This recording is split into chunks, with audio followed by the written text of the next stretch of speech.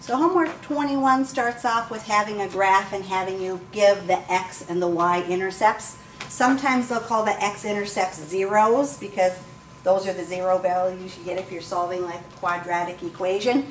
So my x-intercepts in this case touches the x-axis at positive 1 and at negative 3. You are going to put both of them in there and separate them with a comma. And again, it's the wrong pen. It does that every time. I think I remember.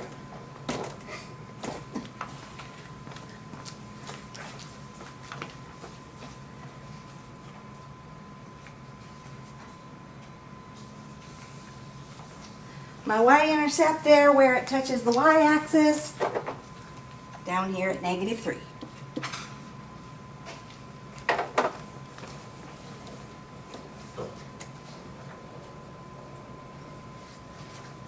So on number two here, if we go ahead and pick out our x-intercepts, our x-intercepts would be at negative 2 and 4. My y-intercept, 2.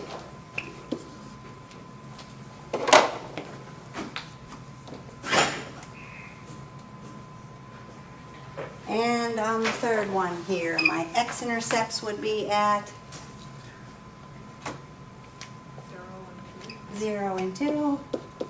And my y-intercept, zero. 0.